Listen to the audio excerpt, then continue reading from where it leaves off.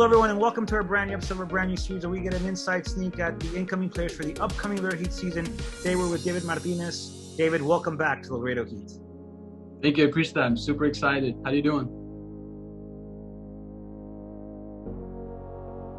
I know you've been in the Laredo Heat jersey probably over a year, right? Um, you've been training. About a, about a year. Yeah. Yeah, probably already about a year, man. And, and I know you've been training with the UPSL team. Can you tell us a little bit about your experience uh, being with that UPSL Laredo Heat team? It's been a good experience. Um, keeping me fit, so that's good. Um, it's had ups and downs. I got I got injured a couple of months ago, but I'm back to 100, percent so it's good. Are you excited about returning to Laredo Heat? Man, I'm super excited. I'm super excited. I can't wait, to be honest. What What about returning excites you the most? The competition. I remember, because 2018, I remember it was good. It was intense. You got to be at your best 100% all the time, and I, I love that. You played under the coaching staff before. You're familiar with assistant coach Roger Bonilla. You played under the head coach now, will be his first season as the head coach for Laredo Heat. Supposed to be last season, but again, things got cut out. Can you tell me a little about your experiences playing under both coaches?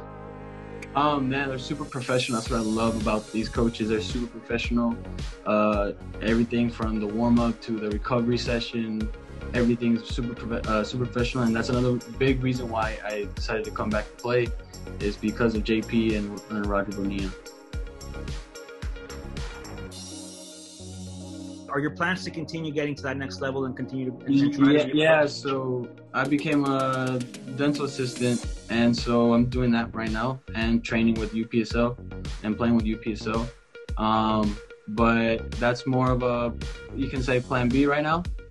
Right now, I'm focused on Laredo Heat and this NPSL. Hopefully, I could, I don't know, uh, a tryout with a pro team or something like that.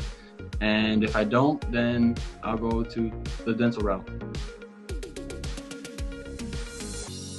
What is one thing you can tell the incoming players about the organization?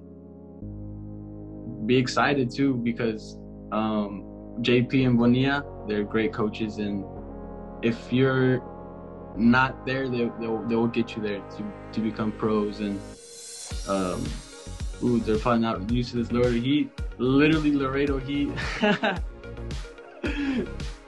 um, it's it's different, huh? It's completely different. I remember my freshman year. This was it was insane. Yeah.